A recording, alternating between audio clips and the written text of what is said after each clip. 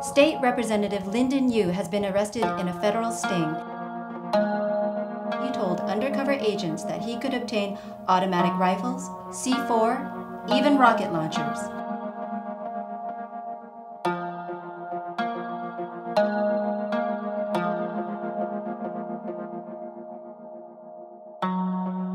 We need an article on page two.